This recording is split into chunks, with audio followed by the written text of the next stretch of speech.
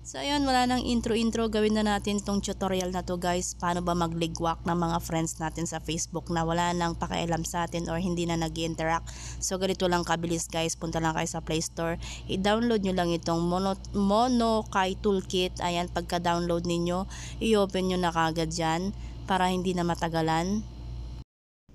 Siyempre, in progress pa yan. Siguro maghintay lang kayo ng mga ilang segundo. Hindi naman ganun katagal. So, ayan, pagkatapos niya na in progress, ayan, get started. Skip-skip nyo lang yan.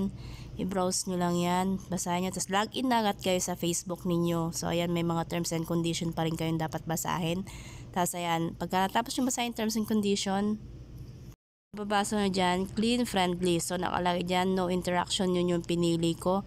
Ito yung mga hindi na nag-interact sa akin, malamang deactivate yung iba or wala nang hindi, na, hindi nagpe-Facebook, wala nang pake. Ayan, so nandyan yung mga friends list ng mga walang interaction sa yung Facebook. Ayan, yung iba hindi na nagre-react, hindi na ano, pero nakita nila yung post mo. Iba naman tahimik lang, o kaya busy sa love life, ganun talaga.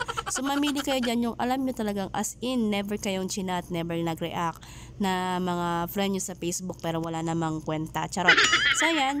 Ako meron akong napiling tatlo dito. Feeling ko kasi tegi boom na tong mga to kaya walang pakialam sa akin. So, meron akong napiling tatlo. Ayan. Are you sure? Blah, blah, blah. Na gusto mo nang iligwak tong tatlong to. So, niligwak ko lang silang tatlo. After niya, okay na. Gusto nyo ligwakin lahat ng sabay-sabay? Okay. Bye.